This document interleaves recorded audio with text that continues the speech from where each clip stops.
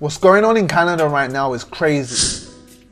Canada declared the Emergency Act, authorizing martial law and bank freezes against any protesters or anyone who donates money to protesters.